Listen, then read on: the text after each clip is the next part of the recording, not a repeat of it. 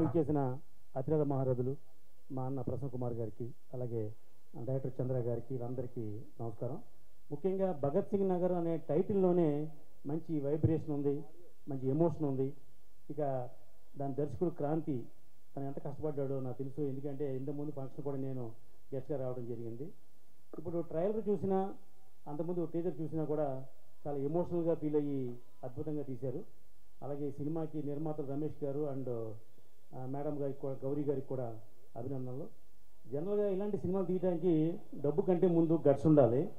ఎందుకంటే ఇది separate genre cinema. డెఫినెట్గా ఇలాంటి సినిమాలను ప్రేక్షకులు ఆదరిస్తారు. ఎందుకంటే రెగ్యులర్గా వచ్చే లవ్ స్టోరీల కంటే కూడా ఇది ఒక సపరేట్ జోనర్ సినిమా కాబట్టి ఇలాంటి సినిమాల్ని ప్రేక్షకులు ఆదరిస్తారు. రేపు ఇరవై ఆరో తారీఖున నాలుగైదు సినిమాలే ఉన్నాయి కాబట్టి ఈ సినిమాకి మంచి థియేటర్లు దొరుకుతాయి.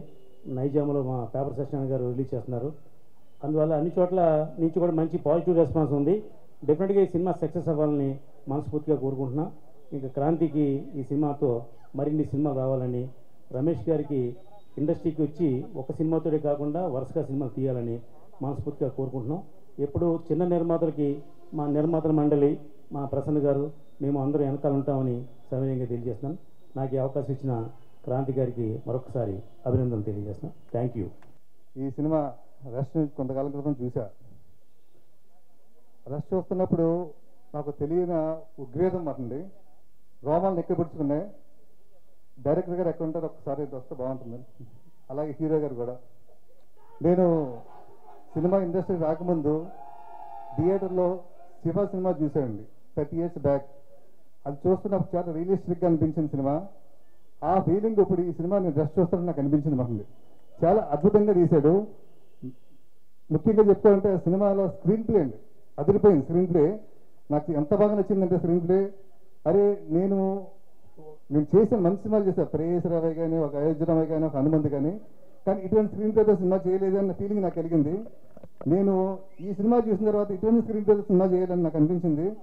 నాకు ఇన్స్పిరేషన్ ఇచ్చావు. Thank you Kranthi. నాకు చాలా బాగా నచ్చింది. అలాగే హీరోని చూస్తుంటే ఇతను ఇక్కడ చూడడం కన్నా స్క్రీన్ మీద చూస్తుంటే భయం వేసింది.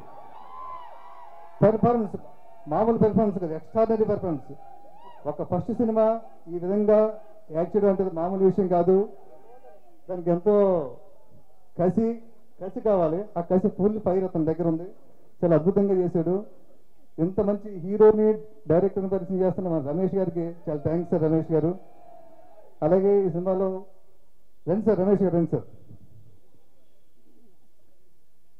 మునిచంద్ర గారు కూడా యాక్ట్ చేశారు నాన్నగారు యాక్ట్ చేశారు. డెఫినెట్గా ఈ సినిమాకి ఆయనకి అవార్డు వస్తుందండి. అంటే మునిచంద్ర గారిలో చాలా సినిమాలు చూశాను కానీ ఇంత గొప్ప నటుడు నేను చూడలేదు. నాకు మంచి సినిమా చూపించారు మునిచంద్ర గారు మీరందరూ కలిసి. నేను థియేటర్లో చూస్తాను ఫస్ట్ డే సినిమా చూస్తాను నేను. I'm very very happy Ramesh Ramesh గారు మంచి వాళ్ళని పరిచయం చేస్తున్నారు. చాలా థ్యాంక్స్ సార్ మీకు నేను మా అందరి తరఫున కూడా మీకు థ్యాంక్స్ చెప్తున్నాను. ఈ సినిమా పెద్ద హిట్ అవ్వాలని భగవంతుని కోరుకుంటున్నాను. మీరు కంటిన్యూ చాలా సినిమాలు తీయాలి. అందరిని పరిచయం చేస్తాను. ఒక ఎక్కడో మీరు లండన్లో ఉండి సినిమా మీద ప్యాషన్ కొద్దీ ఇక్కడికి వచ్చి ఈ విధంగా చేయడం అనేది great sir hats off sir. All the best Ramesh గారు. All the best my dear hero. All the best my dear director. నేను ఇన్స్పైర్ అయ్యింది ఈ సినిమాకి. Thank you. ఈ సినిమాని మీరు అందరూ కలిసి మంచి హిట్ చేయాలని మనసారి కోరుకుంటున్నానండి. ఈ సినిమా హిట్ అవ్వాలని థియేటర్లో అందరూ కలిసి చూస్తామండి ఇది థ్యాంక్ యూ అండి. మా అన్నగారు మాట్లాడతారు ఇక్కడ. భగత్ సింగ్ నగర్. అంటే ప్రాక్టికాలిటీకి ఇవాళ వాస్తవిక పరిస్థితులకి మనం దూరంగా తెలుగు సినిమా కమర్షియల్ పందాల ఎక్కడికి వెళ్ళిపోతుంది. ఒకప్పుడెప్పుడో ఇండియన్ పనోరమా నేషనల్ అవార్డ్స్ ఆ రేంజ్లో ఉండి ఇండస్ట్రీ ఇవాళ దూరంగా ఉంది. ఈ సినిమాలు ఎప్పుడు వస్తాయా అనుకుంటే వచ్చింది భగత్ సింగ్ నగర్.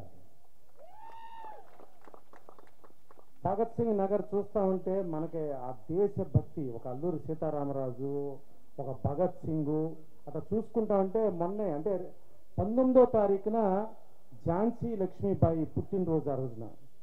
మన దారా సింగ్ గారి పుట్టినరోజు పంతొమ్మిది నవంబర్ పంతొమ్మిది అయితే కరెక్ట్కి ఇరవై ఆరో తారీఖున మన భగత్ సింగ్ నగర్ వస్తుంది. ఇది చూస్తుంటే దీని ట్రైలర్స్ కానీ దీని టీజర్స్ కానీ చూస్తా ఉంటే రక్తం చిక్కపడి రోమాలు నిక్కబుడుచుకుంటున్నాయి. ఒక్కసారి దేశభక్తి పొంగి పొర్లుతోంది. మన తెలుగు సత్తా ఇంకా ఉంది తెలుగు సత్తా మనది ఇంకా చాటే రేంజ్లో ఉందని చెప్పి ఆ పేరులోనే క్రాంతి ఉంది. ఆ క్రాంతి అంతా ఈ సినిమాలో చూపించాడు.